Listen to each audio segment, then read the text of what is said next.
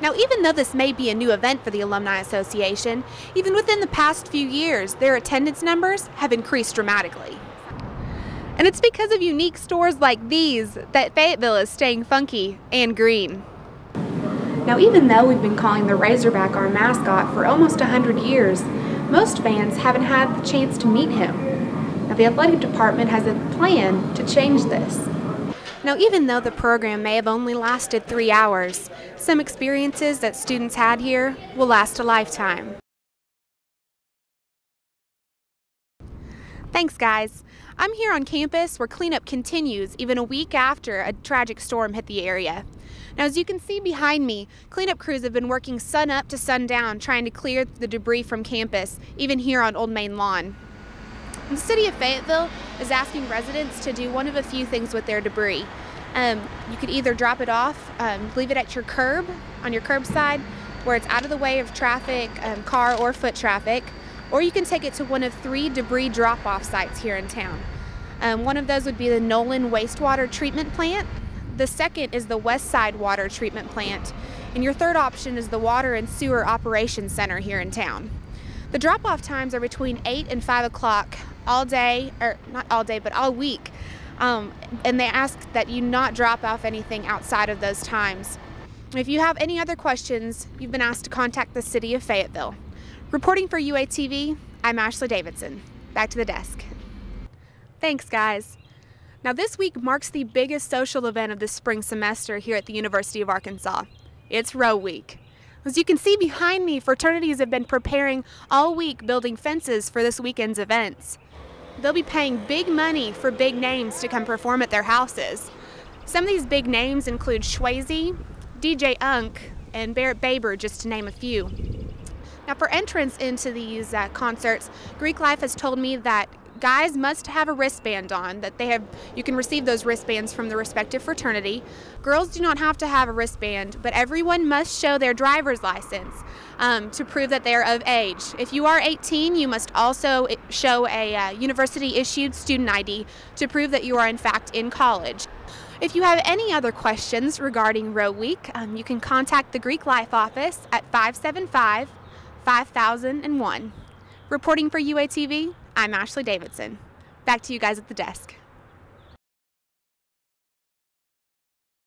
For most college students, their college degree program simply includes going to their designated classes and completing their assignments on time. But for University of Arkansas senior and Fayetteville native Kirsten Blowers, interior design is a way of life. And this way of life has allowed her to pursue her dream. I wanted to open a store that would cater to a younger crowd and where someone, a college student, for example, could come and feel comfortable looking around and have affordable prices and so that they can make their home something funky and different. The funky and different aspect of Riff Raff could be seen in every piece that adorns the walls, covers the tables, or lays on the floor at the open house on Thursday. But all of this work can't be done alone. Kirsten has a few people who are helping her propel her dream. I do a lot of items in the store. I do, um, what I like to pride Riff Raff on is I incorporate a lot of contributors from Fayetteville. A lot of college students do a lot of paintings for the store. And it's because of unique stores like these that Fayetteville is staying funky and green. The store also caters to those who enjoy shopping for eco-friendly items, including a kids' clothing line that is made entirely of bamboo. Riff Raff adds even more variety to the already eclectic Fayetteville shopping experience. And while her business begins to bloom, the very talented Kirsten continues to work her way toward her interior design degree. Reporting for UATV, I'm Ashley Davidson.